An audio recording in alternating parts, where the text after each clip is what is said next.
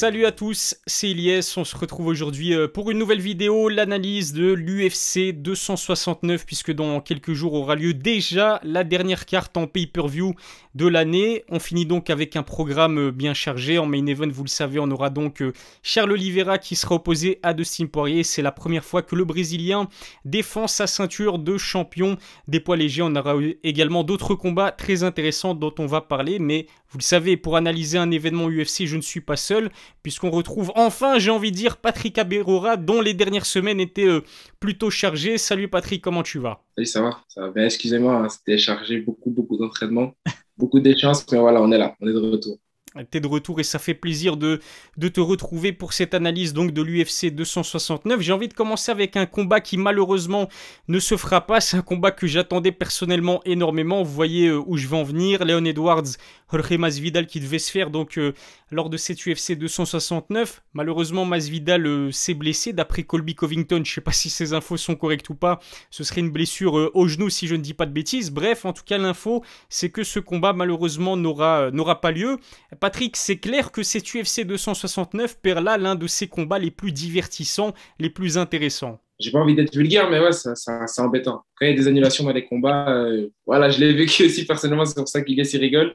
Donc j'en ai vécu pas mal. Et ça fait toujours chier quand on est dans la place du combattant parce qu'on se prépare et puis on est prêt mentalement, physiquement, c'est un investissement. Quand ça, ça a du coup financier et aussi physique et aussi mental, même pour les fans en fait. Moi, ce combat-là, je l'attendais vraiment. Enfin, dans tous les points de vue, il était incroyable. Du fait que les deux sont classés. Il y en a un, c'est une superstar de l'UFC. L'autre, au niveau, euh, on va dire, de son niveau, level de fight, il est incroyable. Et il y a vraiment un gros, gros bif derrière cette histoire. Enfin, je veux dire, euh, ils se sont quand même, ils sont, ils sont venus aux mains dans les vestiaires. Il y en a un qui repartir en sang. Euh, c'est pas du fake, c'est pas inventé par l'UFC, c'est vraiment réel, ils s'aiment pas et ils veulent s'affronter depuis un bon bout de temps. Donc, euh, Là, on était là, on était vraiment tous en train de se dire, purée, ça va aller, de Trippy and Soda dans la cage. Donc, euh, c'est un peu dommage. Ça, fait un peu GOA parce que cette histoire, elle est, vraiment incroyable. Je pense que c'est une des rares fois au l'UFC où des gens sont venus aux mains dans les, dans les coulisses et on les a laissés, entre guillemets, faire. Enfin, vraiment, ça arrivait au point qu'il y en a un qui est ressorti enseignant. Je pense que Leon Edwards avait ici la, enfin, la pommette ouverte. Il est parti vraiment, c'était quand même assez lourd. Quoi. Heureusement, on peut se réconforter avec le main event qui opposera donc Charles Oliveira à Dustin Poirier pour la ceinture euh, des poids légers. Alors le Brésilien, il est signé à l'UFC depuis 2010, ça date. En ce qui concerne Dustin, il est signé depuis 2011, c'est-à-dire 10 ans maintenant. Dobronx, il reste sur une belle dynamique, hein, 9 victoires consécutives. Pour Diamond, c'est 8 euh, victoires, euh, donc 8 combats remportés sur ces 10 derniers. Patrick, c'est quand même difficile d'organiser un meilleur combat que que cet Oliveira euh, Poirier pour, pour un titre chez les légers Ouais, franchement, je pense que c'est la suite logique. Hein. Dans, dans, la catégorie euh, lightweight, Charles Oliveira, il a obtenu la ceinture. Maintenant, il doit vraiment cimenter sa place, surtout au niveau des, aux yeux des fans. En fait. Les fans euh, veulent vraiment le voir. Il doit vraiment prouver, en fait, en quelque sorte, qu'il est le champion légitime parce qu'il a défendu face à Chandler qui avait juste une victoire à l'UFC dans la catégorie face à Dan Hooker, le numéro 5. Dustin Poirier, je pense qu'au niveau des, fans et d'un grand, grand, grand monde dans le monde du MMA, mais les gens le voient déjà comme le champion en fait. Mhm. Même s'il a juste la ceinture intérimaire, il y a beaucoup, beaucoup de gens qui le voient comme le champion parce qu'il a fait des grosses guerres. Euh, il a battu deux fois Connor, Justin Gaethje, il a vraiment Max Holloway, il a, il a battu vraiment des gros noms.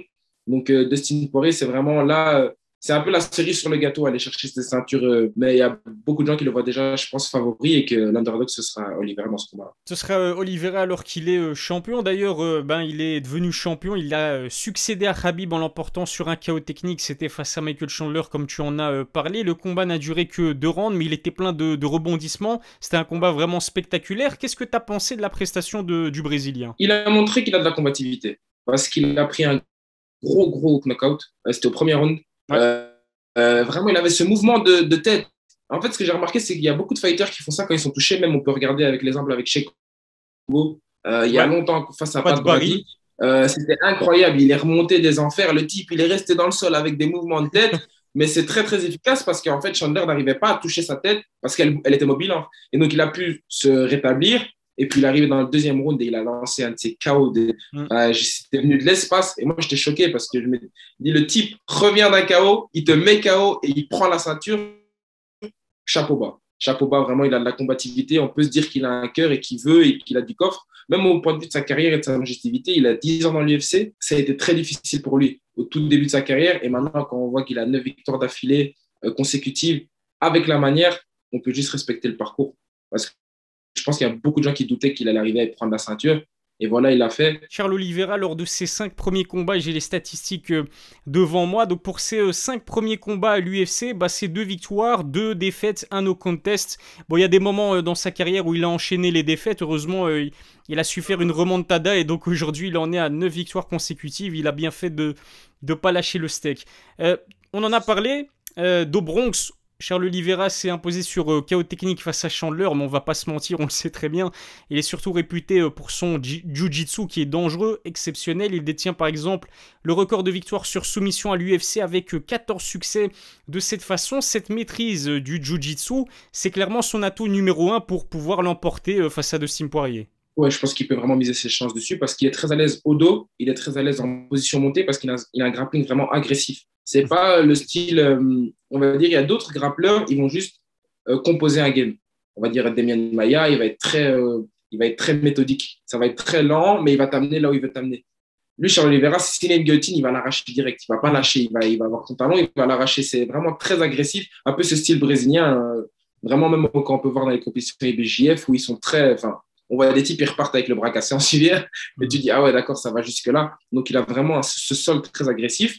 Et je pense qu'il doit plus miser là-dessus dans ce combat face à Dustin Poirier qu'aller dans une guerre de striking. Pour ma part, parce que Dustin Poirier, il a quand même des levels au-dessus. Il a, il a un grand tu, il a fait tête, il a fait face à Justin Gaethje, il a fait face à Max Holloway, il a fait face à Conor McGregor. Et ces trois-là sont pour moi d'excellents, excellents boxeurs. On peut les mettre dans les, dans les top boxeurs à UFC. Donc voilà, Dustin Poirier, c'est quand même un gros, gros client en striking. Il devrait plus miser sur le sol, voir la lutte qu'aller debout dans une guerre de. C'est bien que tu parles du striking de, de Poirier parce qu'effectivement, on sait que Dustin a quand même une ceinture noire de, de Jiu-Jitsu. On a tendance à l'oublier, mais c'est vrai que sa dernière victoire sur soumission, elle date un peu. Elle remonte à 2017. C'était face à Anthony Pettis, si, euh, si je me souviens bien. Pour moi, Dustin, euh, Patrick, c'est clairement l'un des meilleurs boxeurs à l'UFC. Est-ce que tu es d'accord avec cette idée-là? Oh, Moi, je le mets clairement dans mon top 3. Euh, il rejoint Petrayan et Max Holloway. Dustin Poirier, en fait, c'est vraiment un rouleau compresseur. C'est-à-dire qu'il ne va jamais s'arrêter. Ce qu'il a en plus de Max Holloway, c'est qu'il va ajouter la puissance dans les coups. Mhm. C'est vraiment deux marteaux qu'il a dans les mains. Et en plus, en gaucher, ça fait mal. C'est vraiment efficace. Et puis, effectivement, Dustin Poirier, euh, contrairement à Charles Oliveira, même si, bon, euh, dans le record de Charles Oliveira, il y a quand même Kevin Lee qui vient d'ailleurs de quitter euh, l'UFC. Et puis, il y a aussi Tony Ferguson. Mais Dustin Poirier, c'est deux fois vainqueur contre Conor McGregor, Justin Gaethje, Eddie Alvarez, Max Holloway, et puis une grosse guerre aussi face à Dan Hooker. Donc c'était terrible cette, euh, cette guerre-là. Il a, il a su trouver les ressources physiques et, mentales pour arriver euh, à l'emporter. Encore une fois, c'est un gladiateur de Sim Poirier et c'est aussi peut-être la critique euh, auquel Charles Oliveira a souvent dû faire face dans sa carrière, c'est-à-dire qu'on dit souvent que dès que ça se complique un peu pour lui, ben c'est compliqué justement, il a du mal à, se dépasser. Bon, tu vas me dire que face à Michael Chandler, c'était le cas, il a su se dépasser, mais il est moins coutumier du fait qu'un Dustin Poirier par exemple. Est-ce que cette relative fragilité de Charles Oliveira, ça peut peut-être pas lui jouer des tours face à un monstre comme, euh, comme euh, Dustin? Les gens sont un peu durs en disant qu'il est fragile. Personnellement, je trouve pas qu'il est, euh, voilà, on va dire, il a une fragilité ou c'est un combattant qui fuit un peu la guerre, qui fuit un peu quand il y a le feu dans un combat et qu'on sent que c'est vraiment, c'est coup pour coup. On a vraiment l'exemple type juste dans son dernier combat où il est revenu des enfers avec un knockout qu'il avait vraiment éteint. On a vu qu'il était tombé. Si je ne dis pas de bêtises, on l'a pas vu faire 5 x 5. On n'a pas encore vu faire 5 rounds complets, 25 minutes de guerre. Et pour avoir comme premier client Dustin Poirier, faire un 5 x 5 face à un gaucher qui a l'habitude de ça, et qui a un gros lightweight et qui envoie, c'est compliqué. On a parlé du main event, Patrick. Je te propose de parler maintenant euh, du co-main event, puisqu'Amanda Nunes va euh, défendre sa ceinture de championne des poids coqs face à Juliana Peña. Alors, la brésilienne, elle est invaincue depuis 2015. Elle a l'occasion d'enregistrer sa 13e victoire consécutive. Est-ce qu'on peut parler là, très clairement, de la GOAT du euh, MMA féminin? Personnellement, je vois aussi Valentina qui devrait être dans la discussion. Mhm. Pourquoi? Je m'explique avant que j'ai tout, tout, le monde dans les commentaires qui va, brûler. Oui, elle a battu Valentina deux fois. C'était des combats très serrés, de grosses guerres, et il faut vraiment noter que Valentina ne combattait pas dans sa catégorie de base, naturelle. Elle montait à chaque fois de catégorie pour affronter Amanda Nunes dans sa catégorie et aller chercher la ceinture. Euh, quand l'UFC a ouvert la catégorie pour Valentina, elle n'a plus perdu d'ici là. Et elle l'a dit, c'est ma catégorie naturelle. Dans cette catégorie, elle ravage toute la catégorie. Elle a liquidé toute la catégorie. Donc pour moi, les deux sont dans, la discussion de GOAT. Et j'aimerais bien voir à l'inverse, si Amanda Nunes descendait, ce que ça donnerait. Je vois deux filles vraiment dans la discussion de GOAT. Et euh, c'est Valentina et Amanda Nunes. Et je mettrais juste Rose derrière. En ce qui concerne ce combat, euh, Patrick, c'est aussi peut-être l'une des premières fois que Amanda Nunes aura euh, en face d'elle, j'ai envie de dire, une adversaire qui n'a pas sa langue dans sa poche. Elle l'a confirmé, Juliana Peña, euh, plus d'une fois, qu'elle se sent capable d'aller euh, battre Amanda, tout simplement. Et, c'est pas la seule qui est convaincue de ça. on a notamment Shell Sonnen et Misha Tate qui, selon eux, donc ce sont vraiment des, des, grands spécialistes bien sûr du MMA, et selon eux, effectivement, Juliana Peña a tout ce qu'il faut pour aller renverser la championne. Selon toi, le combat est plié d'avance en la faveur d'Amanda ou alors il y a peut-être une chance que Juliana euh, Peña euh, crée l'upset de la soirée? Il y a toujours ce facteur chance. On est même c'est ça qui fait la beauté du sport. Donc il y a toujours ce facteur euh, surprise, il y a toujours ce facteur de voilà, il y a une inconnue. On a eu l'exemple en anglais il y a une semaine, Cambozos qui battait Fimo Lopez. Voilà. Alors que tous les parieurs, tous les bookers, Cambozos, underdog à moins je sais pas combien. Donc voilà, c'est ça qui fait la beauté des sports de combat. Après, sur papier, je ne vois pas où euh, Pena va mettre en difficulté Amanda Nunes. Vraiment, mhm. je ne vois pas.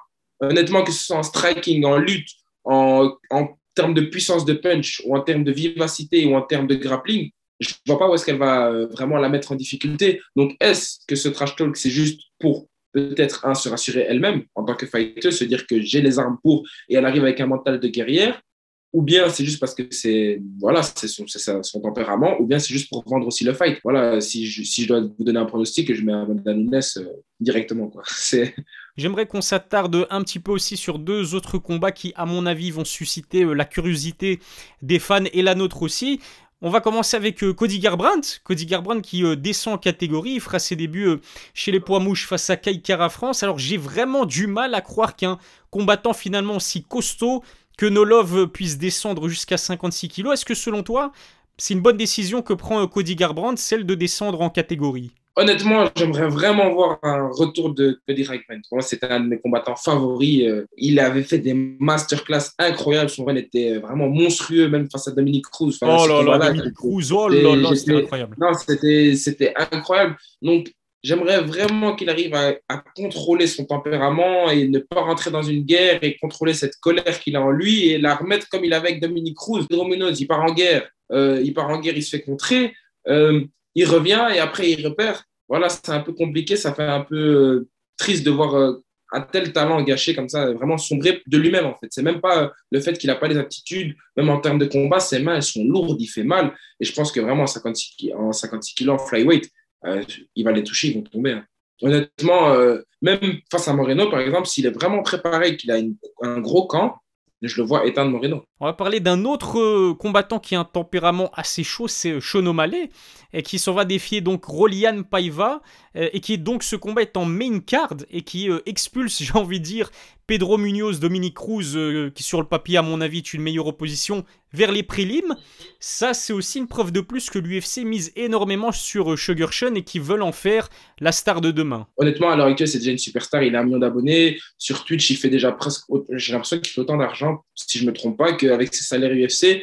Ben, ça se voit qu'il a déjà pas besoin de l'UFC, il a déjà sa communauté. Mhm. Donc l'UFC prend vraiment des pincettes dans sa carrière, en fait, dans son évolution de carrière. On voit vraiment que chaque fois, ils vont lui mettre quelqu'un stylistiquement, c'est un striker ça va, ça va être bon pour lui. On n'a pas encore vu une grosse opposition ou un gros lutteur ou quelqu'un de vraiment costaud en lutte ou de bonne base en grappling pour vraiment aller mettre cette difficulté, se dire là, on va tester euh, O'Malley et voir de quoi il s'agit. Parce que même face à Chito Vera, mhm. les gens étaient surpris en fait. Ils ne s'attendaient pas à ce que Chito Vera soit si bon.